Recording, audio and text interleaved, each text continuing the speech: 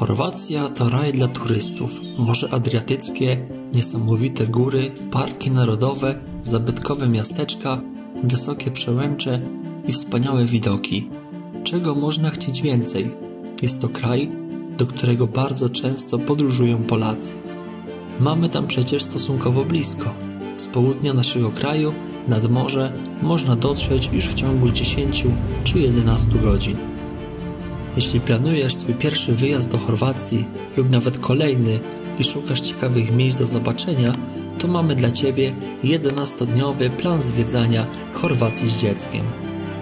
Dokładny opis znajdziesz na naszym blogu. Link zamieścimy w opisie pod tym filmem. W tym odcinku przedstawiamy Wam 15 najpiękniejszych miejsc, które odwiedziliśmy podczas podróży do Chorwacji.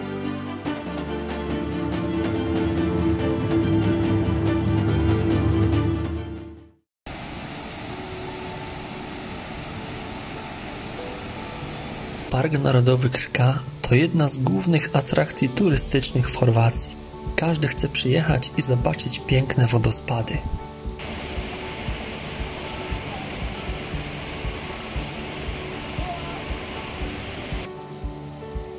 Park Narodowy został założony w 1985 roku, a najpiękniejszym miejscem, do którego zmierzają turyści, to Skradiński Bóg. Dawniej normalnie można było się kąpać przy wodospadzie, ale od 2021 roku jest całkowity zakaz kąpieli. Najpopularniejsze wejście do parku to wejście Lozowac, jednak my polecamy rejs statkiem z miejscowości Skradin. Statek ze Skradina odpływa co godzinę.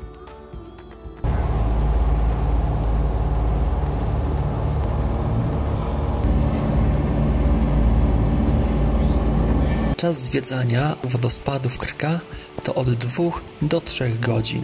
Na ścieżce jest sporo punktów widokowych.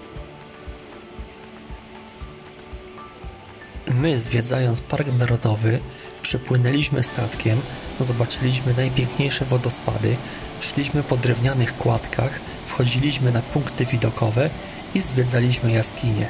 Sporo się działo, ale Park Narodowy Krka jest przepiękny. Najlepiej tam być wcześnie rano, bo później z godziny na godzinę przybywa turystów.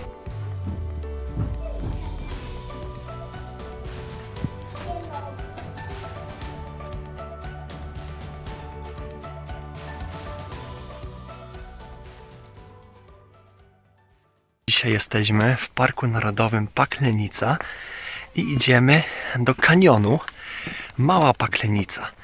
Prowadzi nas taka wąska ścieżka na razie. Jesteśmy dopiero na początku. Jakieś 300 metrów dopiero, ale krajobrazy tutaj przypominają już takie tatrzańskie, bo robi się bardzo skaliście przed nami.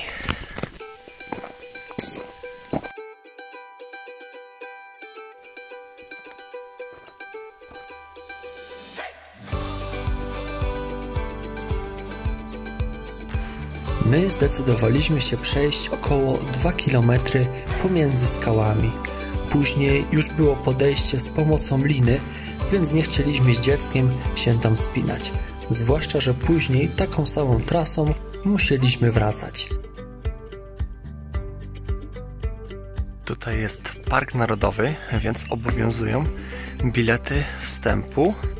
My kupiliśmy sobie trzydniową wejściówkę, bo jeszcze chcemy tutaj trochę pochodzić przez dwa najbliższe dni i wyszło nam po 80 kun za osobę 160 za dwie, czyli na przeliczenie jakieś 100 zł za dwie osoby dorosłe.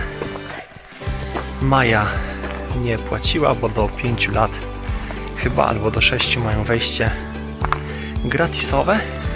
Bilety kupuje się albo przez internet dzień wcześniej, albo tutaj przy parkingu, który jest bezpłatny. Jest e, kasa biletowa otwarta. Tam była informacja, że od 6 godziny już jest pan, który sprzedaje bilety. Można się dogadać albo po angielsku, albo po chorwacku, ale to akurat kupno biletów to nie jest jakiś większy problem. Szlak prowadził po prostej, czasami po większych kamieniach. Musieliśmy sobie pomagać rękami. Kilkuletnie dzieci będą zachwycone, że mogą się tam powspinać. Szlak na całej trasie był bardzo dobrze oznaczony. Tam spotkaliśmy o wiele mniej osób, może kilkanaście i to już w drodze powrotnej.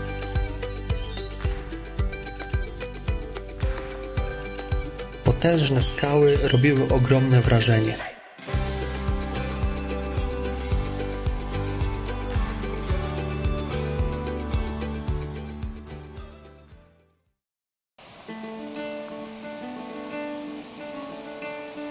Kanion Wielka Paklenica znajduje się na terenie Parku Narodowego Paklenica, ale to nie tylko kanion, ale również rzeka, która przez niego przepływa.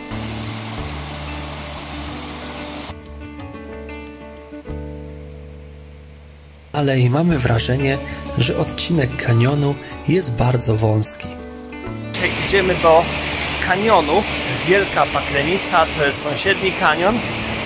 Bardziej popularny wśród turystów już, a zwłaszcza wśród wspinaczy. I teraz na parkingu już trochę ich minęliśmy, bo się przygotowują do wyjścia, a my idziemy w kierunku jaskini. Wędrując szlakiem przez kanion można dojść na przykład do schroniska, a stamtąd na najwyższy szczyt pasma Welebitu, czyli na Wagański Wierch. Na trasie od samego parkingu spotykamy tylko wspinaczy w kaskach z linami. Nie ma się co dziwić. Kanion Wielka Paklenica jest tak zwaną mekką dla wspinaczy. Większość osób początkowo udawała się na pionowe i skaliste zbocze szczytu Anica Cook. Anica Cook to szczyt, który sięga ponad 700 metrów. Na swoich zboczach ma kilkadziesiąt tras wspinaczkowych ale można na szczyt dotrzeć także piechotą.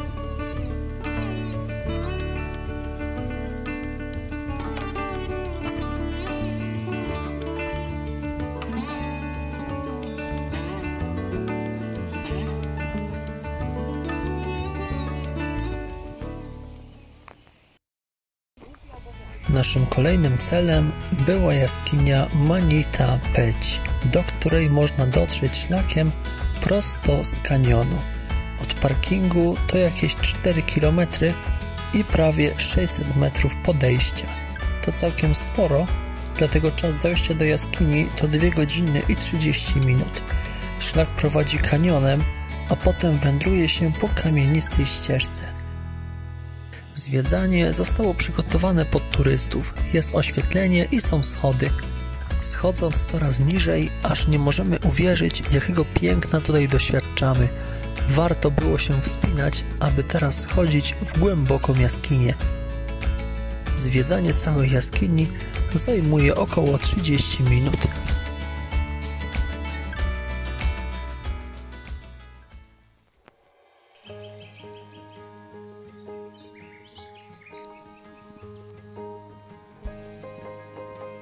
Widakow Kuk to jeden ze szczytów znajdujących się w paśmie Welebitu.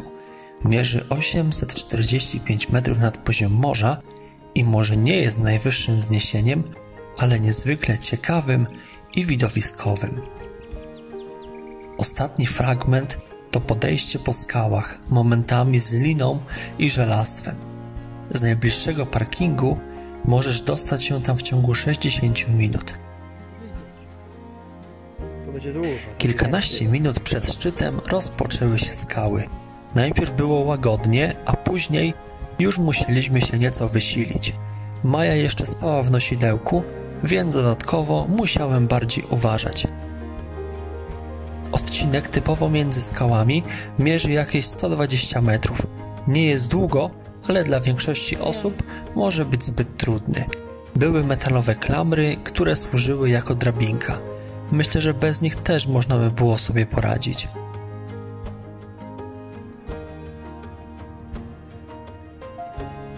Co ważne, te skały nie są takie jak u nas w Tatrach. Wydaje się, jakby specjalnie były wyżłobione z myślą o osobach, które będą tamtędy szły. Jest gdzie stanąć, za co się przytrzymać, nic nie odpada i wejście nie jest tak trudne.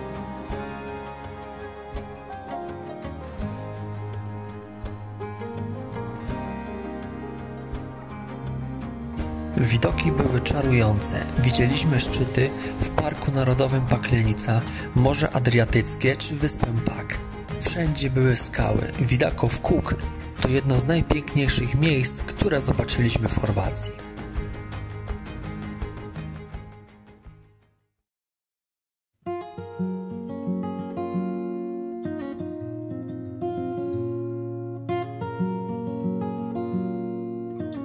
Park Narodowy założono w 1949 roku. Na jego terenie znajduje się 16 jezior krasowych oraz liczne wodospady.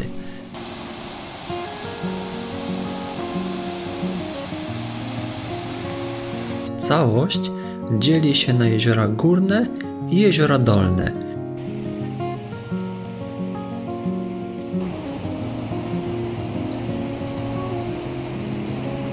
Jeziora Plitwickie znajdują się na liście UNESCO.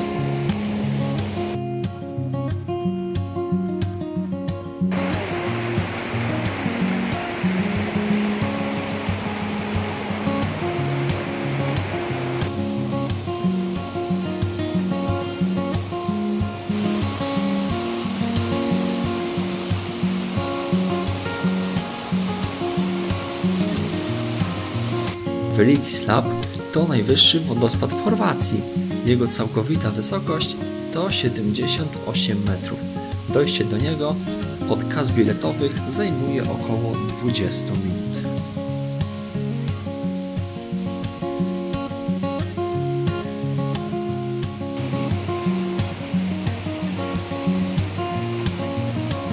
Co warto wiedzieć przed przyjazdem do tego parku narodowego? Przed wejściem znajduje się płatny parking. W sezonie turystycznym lipiec-sierpień najlepiej kupić bilet online. Podobno niektórzy czekali do tradycyjnych kas po kilka godzin.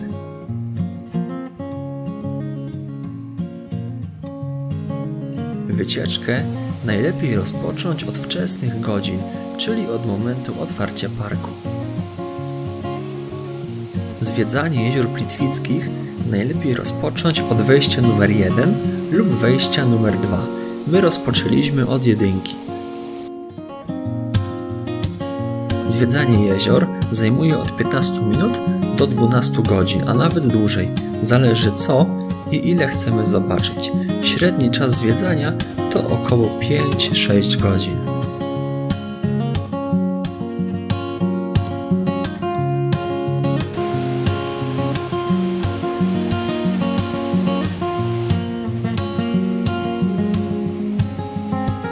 Trasy spacerowe są bardzo dobrze oznaczone, więc ciężko tam się zgubić.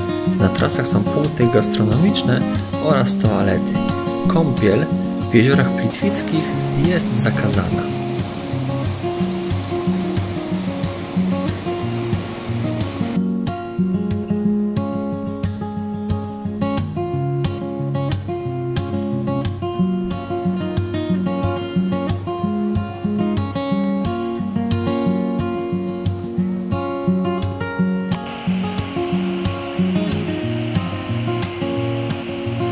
Co warto zrobić i zobaczyć podczas wycieczki do Parku Narodowego?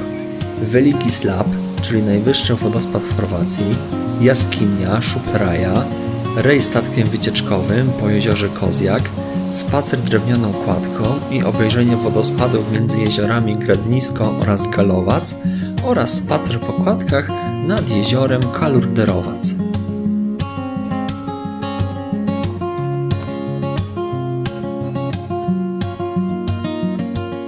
Trasa C miała w planie rejs statkiem po jeziorze Kozjak. Jest to jedna z atrakcji parku, ponieważ można zobaczyć krajobrazy z innej perspektywy. Przepłynięcie trwa około 20 minut. Statek kursuje co 30 minut, a stacje statku oznaczone są na mapie i w terenie P1, P2 i P3.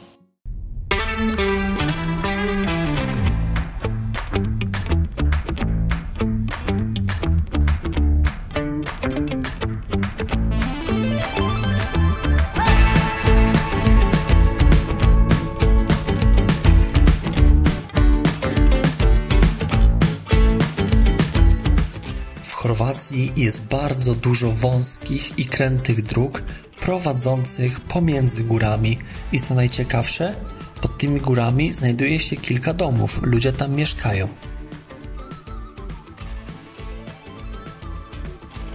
Podróżując po Chorwacji, kilkoma takimi drogami przejechaliśmy. Zrobiły na nas ogromne wrażenie.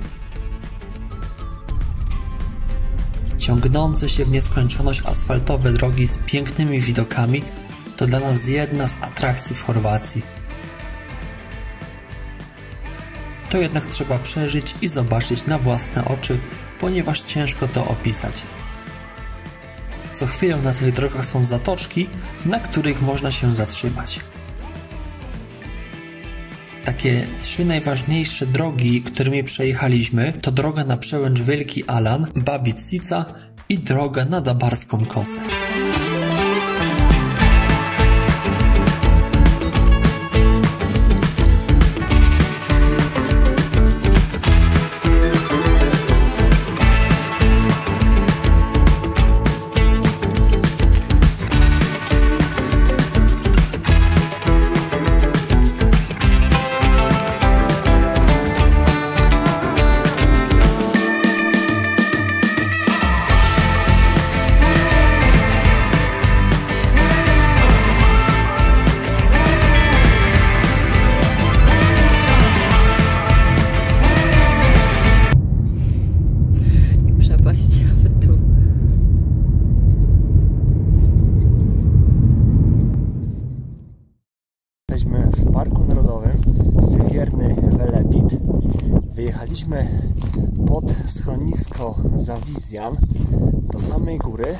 1500 metr.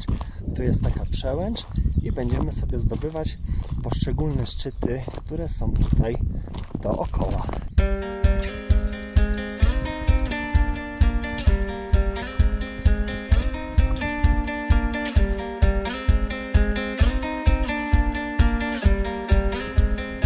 Pierwszym szczytem, na który idziemy, jest szczyt Włóczjak, mierzący 1645 metrów. Za mną jest schronisko i jakieś 10 minut stąd po skałach wspinamy się właśnie na ten szczyt. Także zaraz tam będziemy i może obejrzymy widoki, chociaż pojawiły się teraz chmury, ale może szybko przejdą.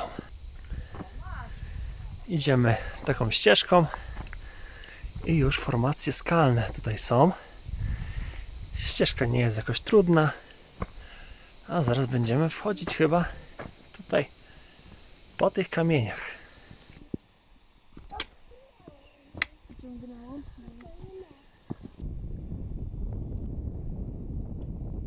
Włóczniak zdobyty. Na górze sporo skał i jakiś budynek. Coś związane z pogodą.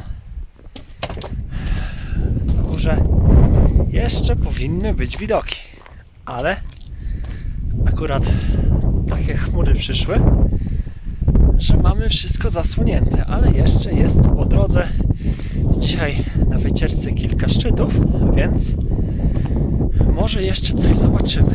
Im późniejsza godzina, tym podobno ma być trochę lepszy widok.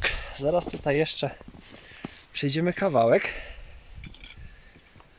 i jednak są widoki, jakieś się otworzyły, czyli takie, które chcieliśmy w kierunku morza, czyli z tamtej strony przejechaliśmy.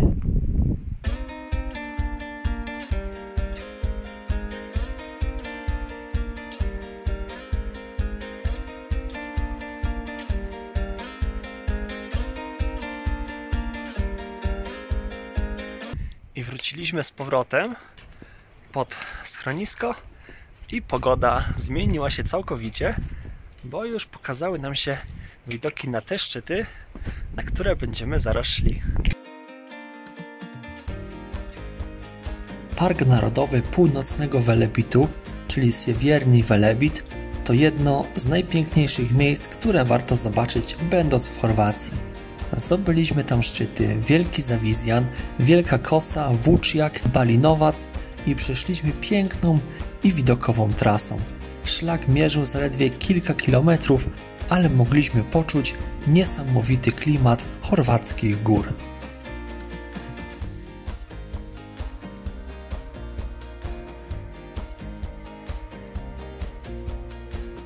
Dojście na Balinowac to jedno z najpiękniejszych górskich podejść. Robiło wrażenie.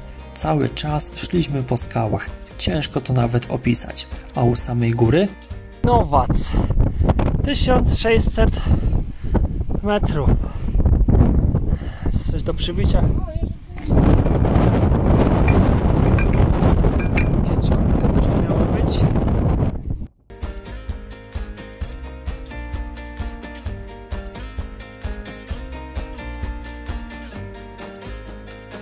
Na szczycie byliśmy sami.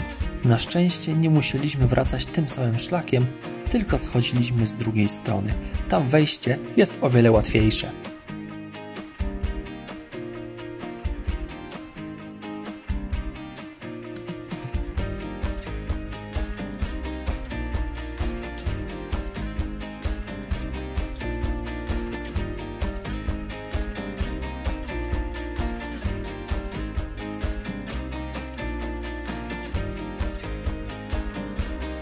Kolejnym szczytem, na który chcieliśmy wyjść, był Wielki Zawizjan, mierzący 1676 metrów nad poziom morza. I zeszliśmy z Bolinowaca. Zejście było o wiele łatwiejsze niż wyjście z tamtej strony. Dlatego jak ktoś chce tam się znaleźć, to najlepiej iść od strony tu co schodziliśmy, a my już teraz idziemy na Wielki Zawizan. Kolejny szczyt, ponad 1600 metrów. Strome podejście cały czas za biało-czerwoną kropką. Oznaczenie na kamieniu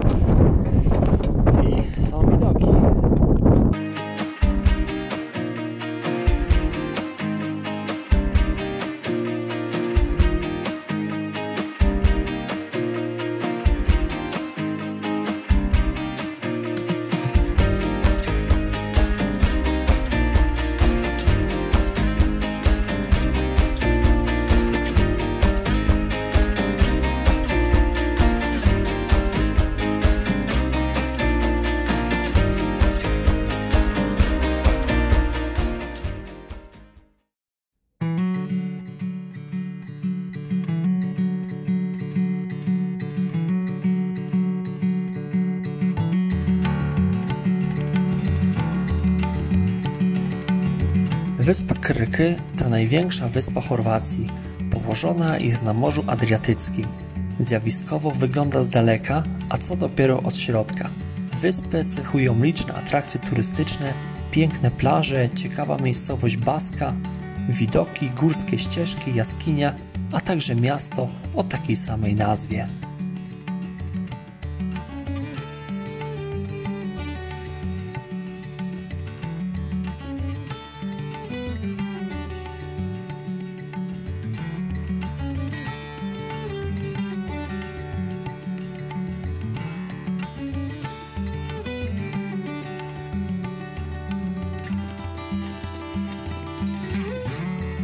Gdzie będzie najładniej, my stwierdziliśmy, że najlepiej pojechać do miejscowości Baska, później do Starej Baski.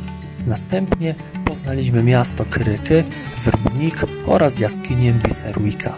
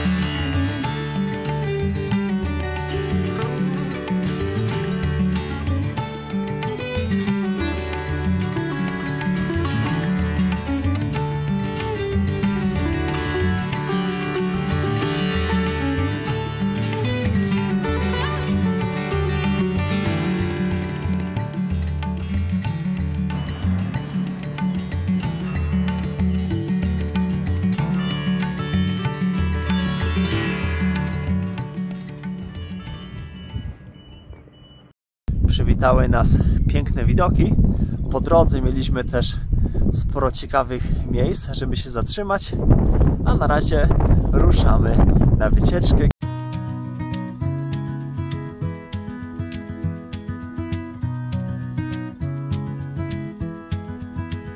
Bulmia i Alancić to dwa kolejne szczyty, które zdobyliśmy podczas naszej wędrówki po Parku Narodowym Północnego Welebitu.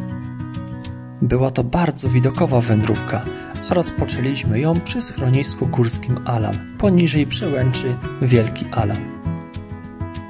Nasza trasa nie była trudna i nie było tam żadnych trudności technicznych. Wycieczka zajęła nam 4 godziny, a trasa mierzyła zaledwie 7 kilometrów. Widoki były bardzo okazałe. Oprócz Morza Adriatyckiego widać dziesiątki szczytów. Można zobaczyć na przykład szczyt, który już znamy, czyli Wielki Zawizjan, a oprócz tego Wielki Rajiniać czy Babin Wierch.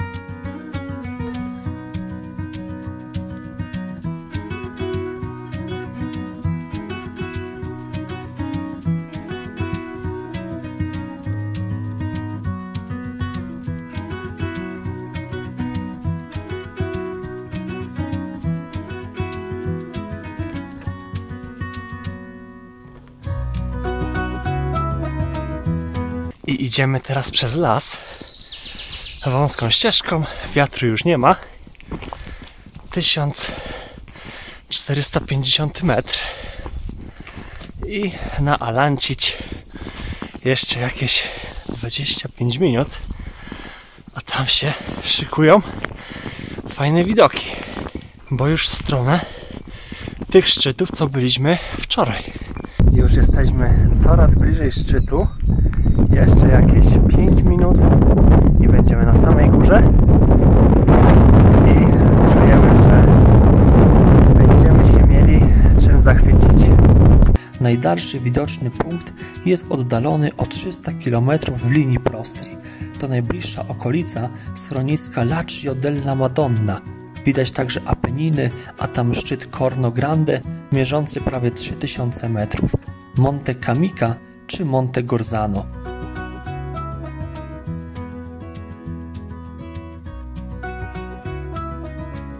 Widać również Alpy, szczyty na granicy włosko-słoweńskiej, a nawet Triglav, najwyższy szczyt całej Słowenii. Przy dobrej pogodzie widać także Dolomity i szczyt Monte Antelao, mierzący 3263 metry.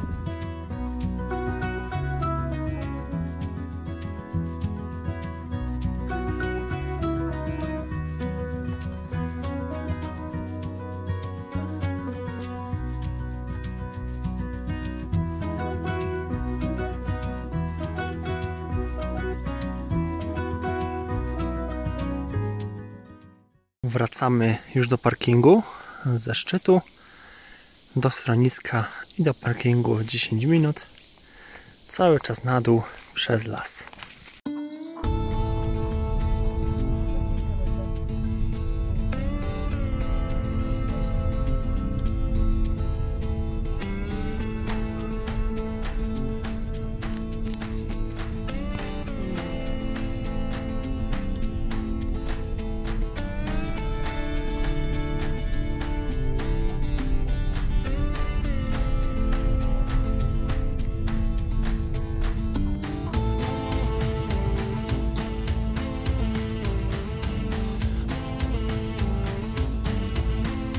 Skalne miasto w Chorwacji okazuje się, że jest takie miejsce, o którym nic nie piszą w przewodnikach.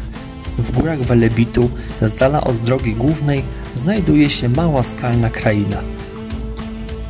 Przed wyjazdem szukaliśmy najpiękniejszych miejsc w Chorwacji i o tym miejscu nie znaleźliśmy żadnej informacji. Co więcej, dowiedzieliśmy się o nim dopiero podczas planowania górskiego szlaku. Ale to jest ta dziura, tak? W dół. Co bardzo ważne, na miejsce można dojechać samochodem, więc nawet osoby, które nie mogą zbyt wiele chodzić, to mogą tam trafić. Jeśli chcesz tam dojechać, to w nawigacji musisz wyznaczyć sobie Dabarska Kosa.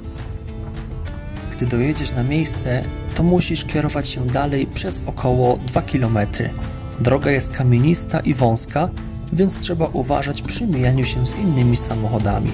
Według znaków można przejechać kilkadziesiąt kilometrów przez górę na drugą stronę.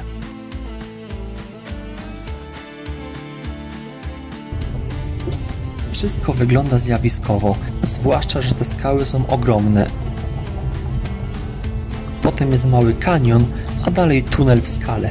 Gdy tam jechaliśmy, to byliśmy w szoku. Gdy byliśmy na parkingu, to spotkaliśmy Chorwata, który mówił, żeby tam jechać. Pokazał nam w telefonie nagranie, bo on już tam był. My najpierw szliśmy na Wisibabę, a później do skalnego miasta.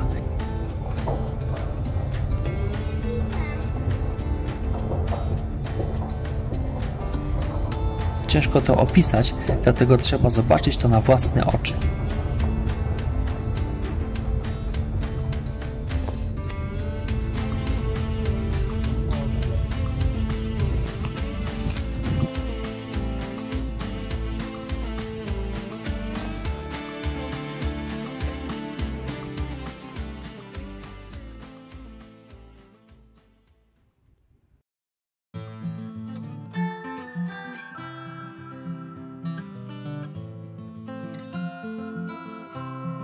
Wisi Baba To górski szczyt mierzący 1160 metrów, czyli niewiele jak na chorwackie góry.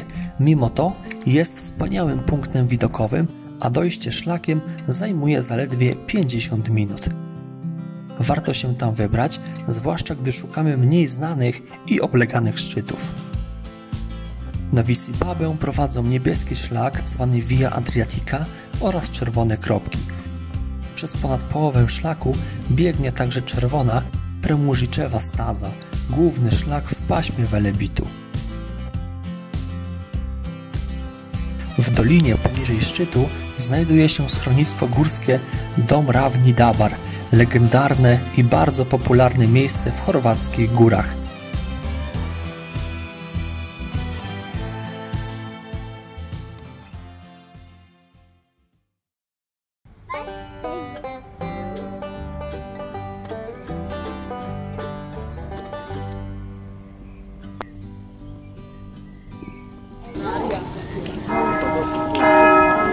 Możemy także pominąć dwóch miasteczek, które odwiedziliśmy.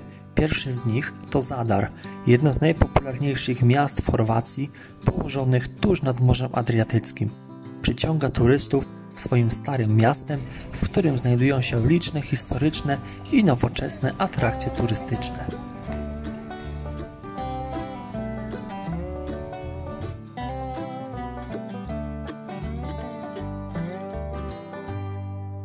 Drugim miasteczkiem jest Seni, urokliwe z twierdzą na wzgórzu i świetna baza wypadowa na szlaki Welebitu.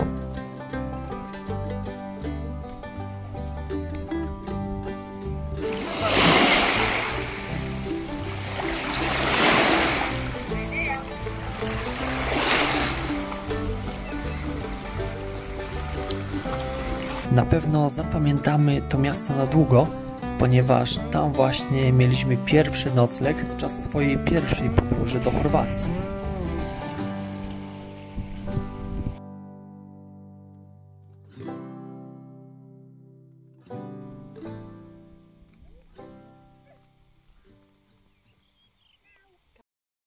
Godzina 2.40. Jesteśmy przy schronie Glawas. To jest ostatni parking pod Dinarą i stąd będziemy ruszać właśnie na najwyższy szczyt Chorwacji. 4 lub 5 godzin myślimy, że będziemy na szczycie.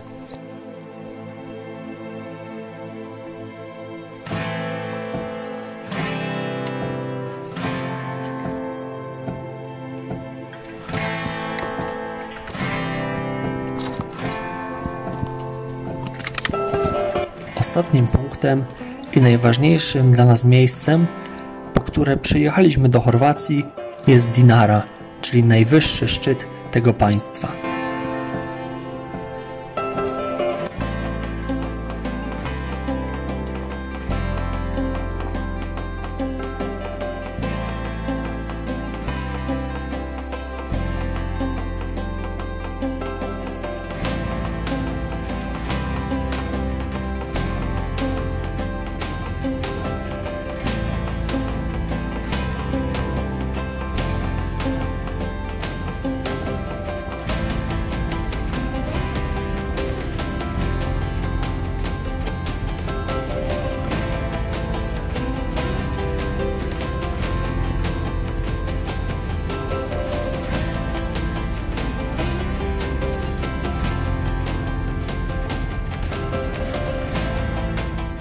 Dwie i pół godziny drogi za nami.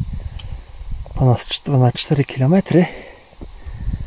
Jesteśmy na 1350 metrze i słońce już szykuje się, aby wyjść za górę.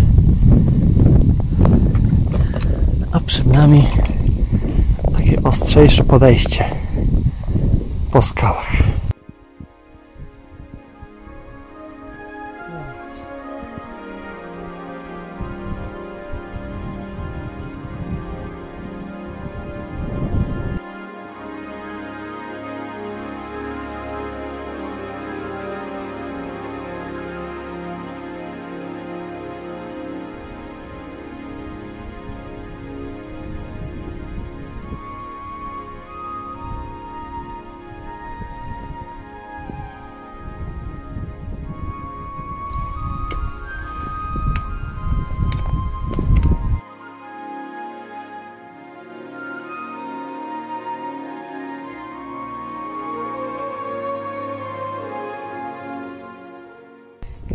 1600 metrze. Teraz było takie ostrzejsze podejście. Gdzieś na około odcinku 800 metrów. Zrobiliśmy 300 metrów w pionie. Także tu się można zmęczyć. Ale teraz już większe wypuszczenie i jakieś jeszcze 3 km na Dinarę. A widoki coraz lepsze. Słońce wstało, jest 6.30. Za nami 3,5 godziny drogi. 1645 metr. Doszliśmy na Drago Drubać. To jest jakiś schron turystyczny. Jest woda. Jest woda? Czyli to druga woda na, na trasie. Także w bardzo dobrym miejscu. Jest jakieś otwarte? Zobaczymy. Tutaj już jest woda. Masz wiaderko i możesz sobie nabrać. Spokojnie. Mamy wodę. WC 50 metrów. Faktycznie to było to, co widzieliśmy.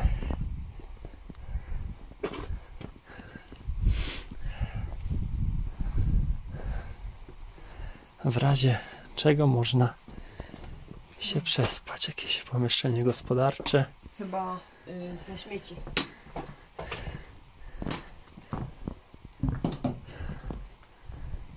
To tutaj można dojść wcześniej o jeden dzień.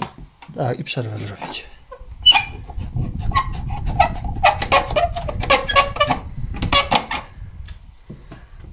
Co tutaj jest?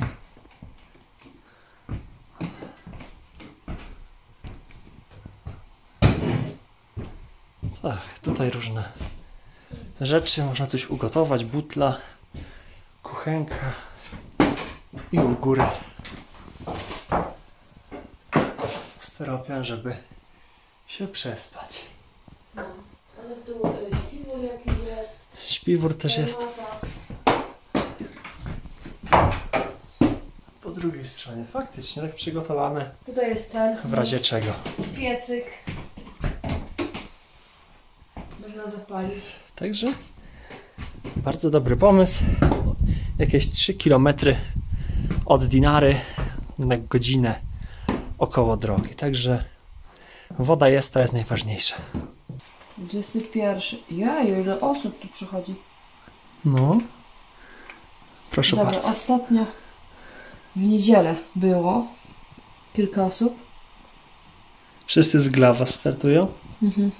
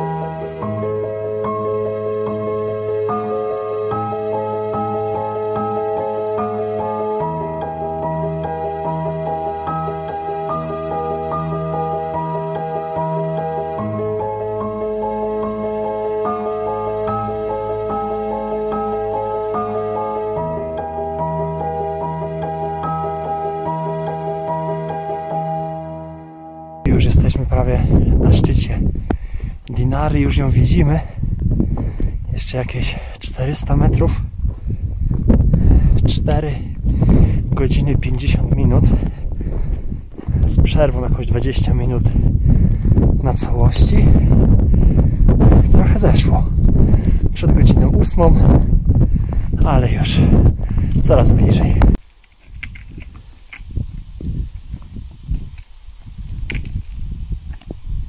Już ostatnie podejście. Widać już szczyt. Teraz po kamieniach I już prawie u góry. I jesteśmy. 5 godzin i jedna minuta. Jesteśmy na szczycie. Zaraz zobaczycie jak tutaj jest. Wejdziemy do środka, zobaczymy. Skrzynka.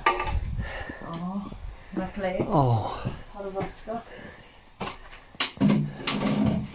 idealne miejsce na przerwę. Piątka.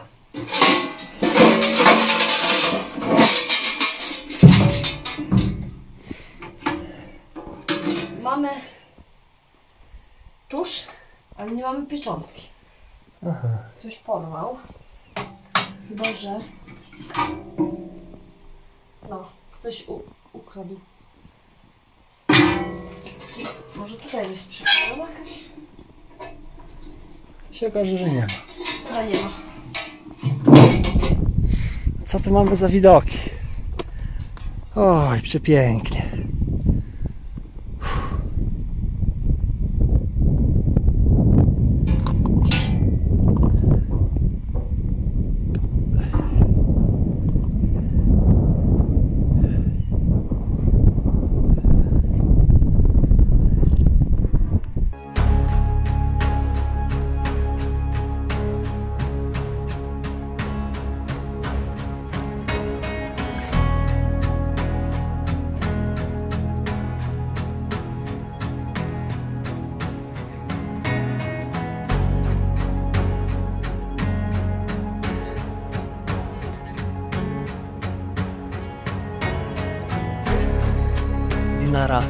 Nami. My wracamy teraz innym szlakiem. Robimy sobie pętlę. A tak też szliśmy tamtędy po lewej stronie.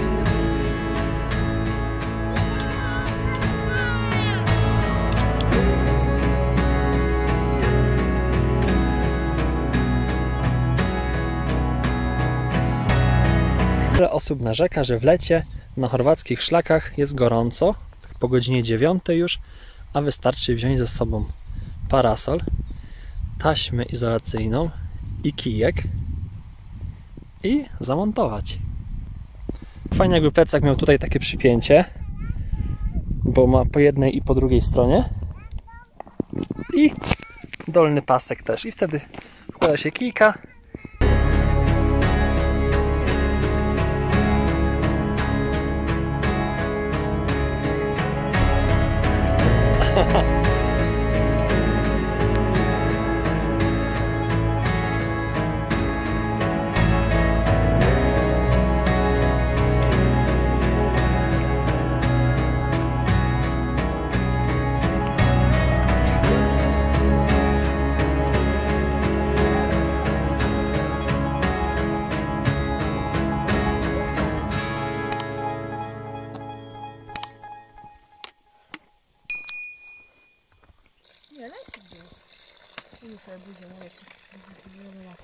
jesteśmy już przy schronie dla Was.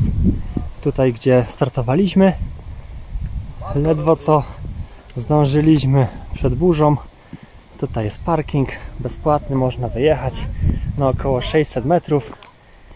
Wyszło ponad 10 godzin i teraz jedziemy do noclegu. Właśnie wracamy do domu po skończonej wycieczce, a tu jeszcze widok na Dinarę, bo rano nie mogliśmy tego zobaczyć, bo było jeszcze ciemno.